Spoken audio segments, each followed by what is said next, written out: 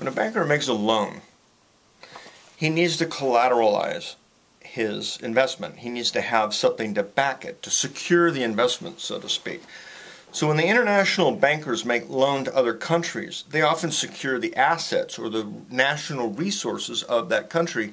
And that's part of the reason the bankers want to make loans to third world countries or any other country so they can control the assets, they can control the politics, because those that have the gold rule.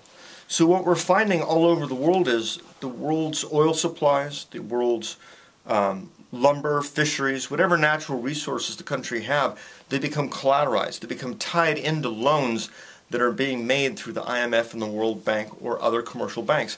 I know I used to make loans for Lloyd's Bank out of the Los Angeles branch. We used to negotiate with other bankers in countries for different amounts of money, and it was always tied into some kind of control over resources.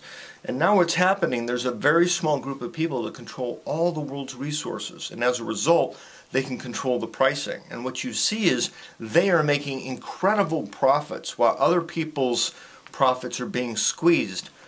The amount of money that the working man or the average man or the taxed citizen is making is getting squeezed while the amount that the ultra rich are making is growing. And you can you can just look at the numbers. You don't have to believe me. This isn't a conspiracy theory. This is economics.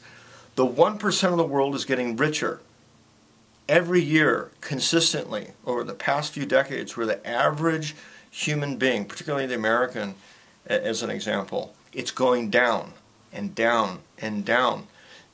And that's directly attributable to the laws and policies that have been put in place by our government under the pressure of corporations and their lobbyists. Pressures on the judiciary, pressures on these laws that prefer tax treatment, moving and encouraging business going abroad to China.